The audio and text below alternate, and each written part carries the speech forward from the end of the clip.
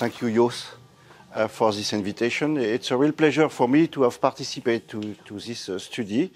Uh, indeed, we are now very much concerned by the link between space and terrestrial challenges. So it was a very good opportunity for me to be able to participate to the next-gen studies. Yeah? So I often start by the difficulty we have. You know, if you want to quit Earth, the main problem for us is gravity. So gravity means mass. Yeah? And if you do very basic calculation in terms of what we need to stay alive, in terms of metabolic needs, you will be somewhere around five kilo per person per day. Yeah? And a mission to Mars, let's say as it is defined today, would be somewhere around a thousand days. You cannot change this too much because you have the sun in between, yeah? and you have to turn around. So you can only jump from one to the other one every two years and a half. So this means that this duration has to be there. Yeah? And then if you put a little bit of hygiene, uh, 10 liters per person per day is, is almost nothing. Yeah? As you know, the European citizen consume much more than this. And if you put a bit of consumables, such as clothes and, let's say, any drugs or whatsoever, you reach more than 100 tons. And you have to know that today, with the most powerful launcher we have, we can only drop somewhere around 20, 25 kilos at the moon surface. And when you are on moon, you are far to be arrived on Mars. So this is, this is where we are today in terms of uh, performance. Yeah? So today, where are our astronauts? Our astronauts are around the Earth, around 400, 500 kilometers from the Earth, and they are simply turning around the Earth. Yeah? So that's quite a regular move, and it's quite easy, between brackets, to send cargo. Yeah? They are fully automated. Yeah? The European one is called automated transfer vehicle. And in this cargo, we will put all the consumables. The waste are back in the cargo. The cargo is not protected, and it burns in re-entry. So that's a very, let's say, pragmatic, simple between brackets, but this is what we do today. Of course, as soon as you will quit the Earth's orbit, you could still consider that Moon is Earth's orbit, but if you want to go to Mars, this strategy is not possible because there is no way back. You go, and you cannot come back. You have to do the complete tour three years after. And that's something which is very important, for example, in terms of spare parts. Yeah? So this means that we are considering in Europe, but as well in Russia, in China, in, in US, circular system in order to have the maximum valorization of, of resources. Yeah? So something that you may not know because you may have not been to space so far is that uh, the space vehicles are extremely airtight. Why? Because outside is vacuum. Yeah? So if you let it uh, leak, of course, you will have a serious problem with your astronaut, and you need to bring new resources. Yeah? And the other thing which is important to realize, if you look at the human density on board space vehicle, in terms of surface, it's quite high. I would say comparable to uh, Earth city. But if you speak in terms of volume, then it's much, much more dense. Yeah?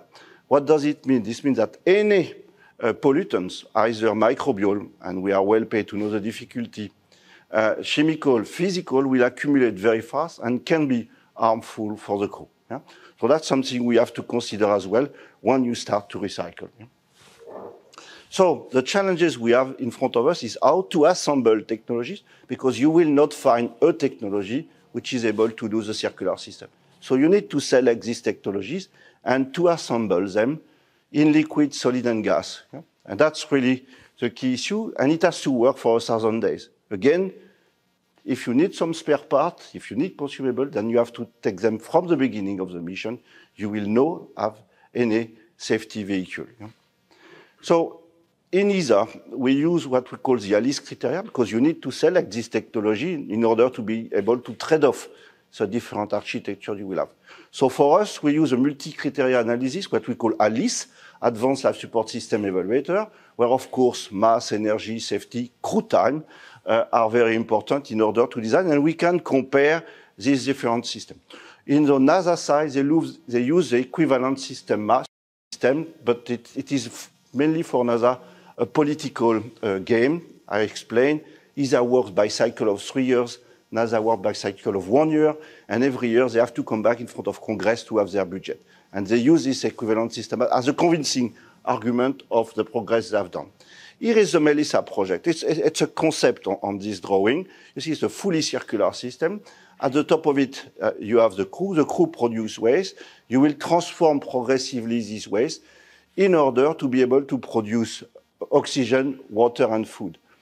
The key point is, as soon as you go to food, you need biology. Yeah? It may sound a bit strange or obvious to you, yeah?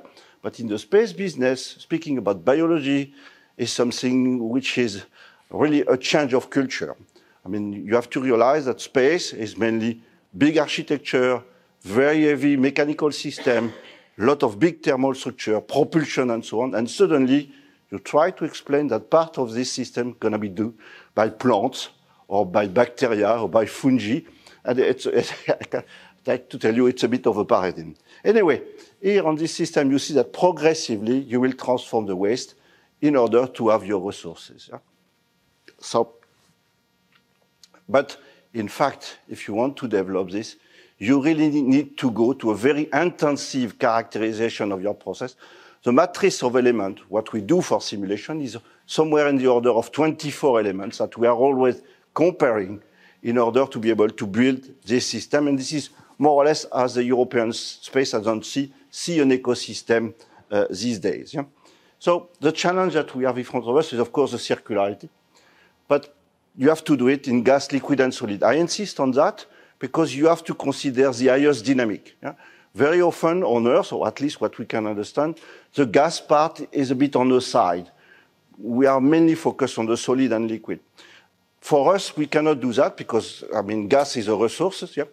But if you consider gas, then it's the element who will be driving the dynamics. So you really have to start by this one and go progressively to the slowest dynamics. Of course, each processes you assemble has to be efficient. If you simply consider a circular system, the efficiency of the system will be the efficiency of the less efficient sub-processes. Yeah? So that's something you have to realize as well. Yeah?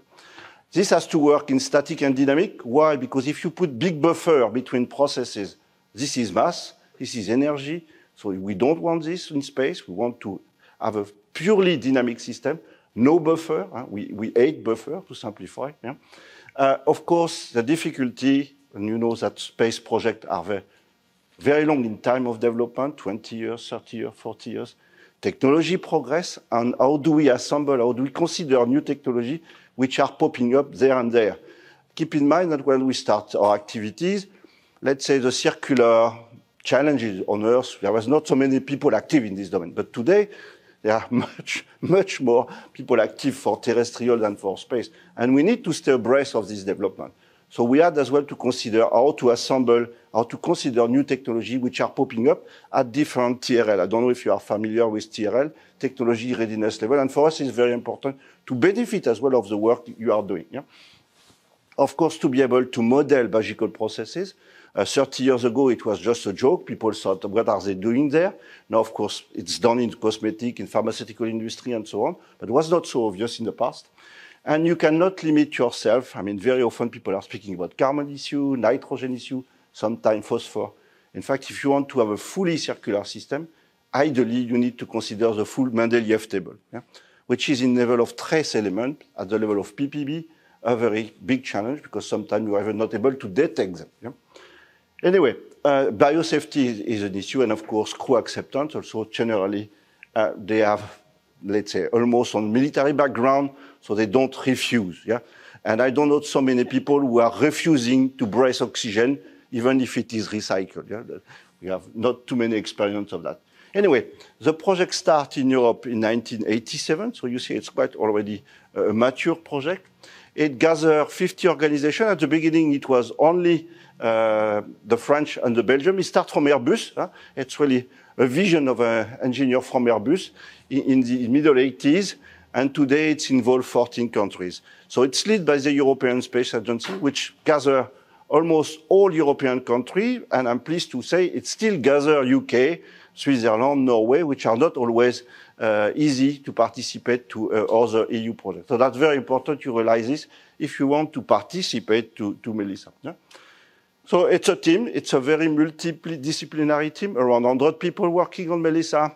It goes from a microbiologist, chemical engineer, system engineer, cook, medical doctor, psychologists, and so on. So very, very diverse. Even some faces are, are, are the first rows in, in these pictures, you, you, know well. Now, this may look for you as a kind of a very futuristic, maybe we will consider to go to Mars in, in 100 years. No, it's not at all the situation. Europe has decided to go, and we will go internationally, and it's approved by the European ministers. This is the official document, yeah, uh, which has been already approved. It will be presented at the Ministerial Council in November, but with a preliminary meeting, it's already approved. And if you look carefully, it's called Terrae Nova. It was approved in September. And clearly, here is speaking about life support system. You see Mars Transit Habitat. Mars Transit is a vehicle to be able to go to Mars. And they are speaking about life support system, so really Melissa, circular economy. And they are speaking, of course, which is quite important for you potentially, is ground analog. How can we, on Earth, develop a system where circularity will be as tight as for the Mars, but keeping as well collaboration with terrestrial actors. Well, I think it's something that you may be interested. We have a very long-term planning, of course. You can criticize it a little bit, but it's just to give you the vision of where we, we are going. And things which is important, we are from the beginning integrating humans. Uh, you may know or not know that when you are in microgravity, the liquid in your body are totally reaffected. And for example, your test, your organoleptic quality what, of the food is different. This is why, for example, we do tests with volunteers till down, yeah, uh, and they are able to test uh, the new recipes in order to see if the perception is the same. We have remarks that recipes they love very much on Earth when they are in microgravity, they don't like it. Why? Because the tongue is becoming bigger due to the gravity, there's more blood, and the test is different. Yeah? For you to know, we have done this one for three months with women, but we do it with men as well. Huh? There's no, we, we pay attention to the equilibrium there. Uh, access to space is, of course, something very important. Yeah? Uh, you cannot validate everything. This is one of the challenge. We are developing a system, but we don't know the environment where we will apply it. Yeah? So we really have to do brick by brick to see if it works. So we have already been in space nine times. And the last one was the Artemis result. It's a photobioreactor, so microalgae to make it very clear. Protein production, mainly. Here you can consider the urine cycle. Yeah? And you see on this that we are spot on on the prediction. So we really are able to predict today the culture condition of microorganisms and the gas-liquid separation. Don't forget that in microgravity, gas and liquid does, um, doesn't separate naturally, so you need to find ways to be able to do it. Now, in terms of ground demonstration, we have a specific facility which is in Barcelona, the campus of the University Autónoma de Barcelona, where we integrate progressively the different blocks in order to be able to reach this uh, cycle. So today, where are we? Uh, today, our consumers uh, are rats. Uh, I explain why. Because for cost and as well for safety, we are not working with human for oxygen CO2, but we work with human waste. Huh? But the rats are there for consuming the oxygen and producing the CO2. We have been able to demonstrate during more than 18 months that with urine and CO2, we are this uh, degree of closure. So we really at a consider at a high level of demonstration for already carbon and nitrogen. Uh, this is to give you the quality, but I will not go in detail, but we are able really to pilot and maintain the concentration of oxygen in the animal compartment. Thing which is important, we realize that now we have to go one step further, and now we are preparing, and this decision has been taken. It will be announced to the Melissa conference in two weeks that we are moving to human habitat. So the next step in the coming years will be uh, with human. So things I guess could be important for you, and here uh, it's a very strong message of our new general director. So far, space was really for space, and for the last four years, we have a new message. Please consider terrestrial synergies. Yeah? We are very well placed with NextGen. We didn't know that at that time, but it's, a very good point. And I will show you some example already of application coming from space development which are used uh, on Earth.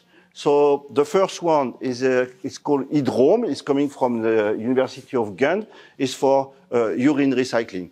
It has been uh, implemented in a public park in, uh, in uh, Ghent, and it will be uh, implemented in two schools in Flanders in over falls. Yeah. Um, Roland Garros tournament. Why are we speaking about the French Open here? Because we recycle the grey water uh, since two years uh, for the sportsman and sportswoman, so that's completely recycled.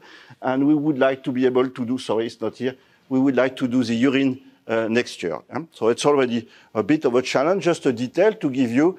When you communicate with this very famous uh, sports star, which are uh, wearing very well-known Swiss uh, watch and uh, perfume and whatsoever, and you speak about urine recycling, there is already a bit of a challenge in terms of communication. That's, that's things you cannot say. Yeah. Anyway, uh, we have an agreement with the Belém. The Belém is an English-French uh, boat. It's an historical monument, so you cannot do whatever you want. But as you know, boats are as well a good source of uh, water pollution today, if I oversimplify. So we will implement progressively technology on board this boat, and we will use it as an ambassador of our, technology. So here we are close as well to space constraint very small, a lot of, uh, let's say, restriction in terms of energy, volume, resources, and so on. So we are very pleased uh, of this agreement. Yeah?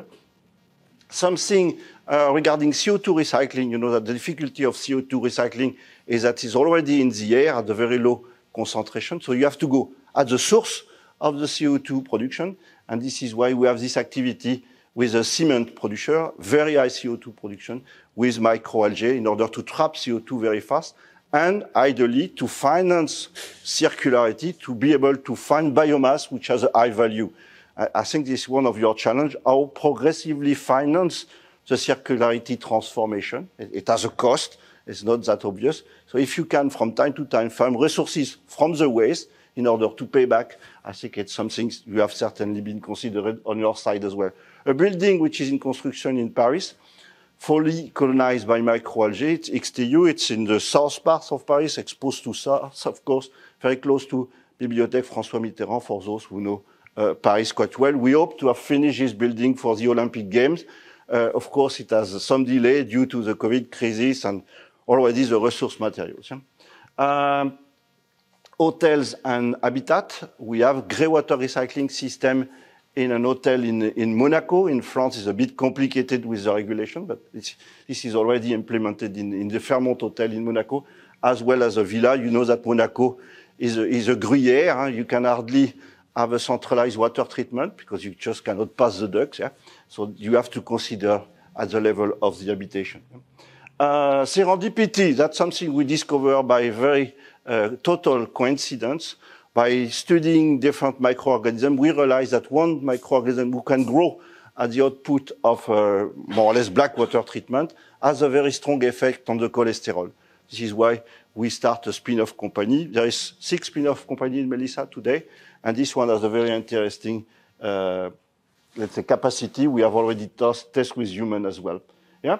Um, this is not because we are working with space that we are not considering as well other application, uh, you may know that in part of the world, protein is an issue.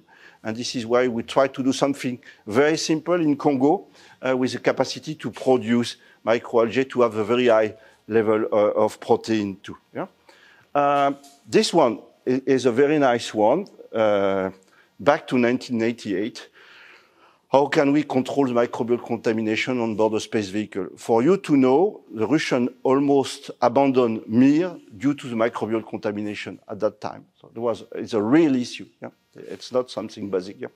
Because you cannot control totally the humidity aboard a space vehicle. You have a huge gradient due to the orbit. Some surfaces are very cold, some surfaces are very warm. And you have humidity. If you have humidity and you have crew that you cannot sterilize, we did test and we put astronaut 120 degrees during 20 minutes, but they don't resist that well. Yeah? So you cannot sterilize the astronaut. Yeah? So they produce microorganisms. They will have this difficulty. So this is why we start this collaboration with, with a world leader. Yeah? It's a fully automated PCR. Yeah? And today, it's called BioFire, and it's the first platform worldwide for the detection of COVID-19 We never thought about it when we started, but still, today it's okay. So really, a, a clear example of what space can bring by having in 1988, so you see, uh, quite a long time ago, this challenge of can we automatically detect a microorganism, pathogen or not, by the way. Huh? Uh, something which could be interesting for you is a team up with EU, uh, and now we will issue a joint call. There is one, by the way, uh, which is open today. So in the future, you will see this call, so you can apply, and I think it could be interesting. Circularity, water recycling, food production are part of what we have identified uh, together. Yeah? Um, last step, I think it's important because you are certainly all concerned by the education issue that we want to maintain strong in Europe. Uh, we have a pool of Melissa PhD, which is somewhere around 30 PhD running continuously. We have COAL, we have a Melissa Foundation, we finance postdoc and PhD, and we organize as well what we call summer university, welcoming students which are not Melissa, but which are interested by circularity challenges and so on. So the last one was in Sofia, but we will certainly organize more. And of course, we are open to international. Uh, you know that in some countries, the position of women are a bit more complicated in terms of science and everything. They don't dare, obviously, by cultural reason. So we participate as well uh, to this, uh, let's say, to this promotion. Yeah? In terms of event, uh, it is in two weeks, so I can do my own advertisement if you authorize me. There will be the Melissa conference in Toulouse. Uh, registration is still open. Uh, we are somewhere around 250 participants, all focused on circularity. So that you can join it either physically with pleasure, either remotely if you wish. So, and I know that some of you will, will participate. Okay. And on this, I would like to thank you very much for your attention. There are a lot of information on the Melissa Foundation webpage.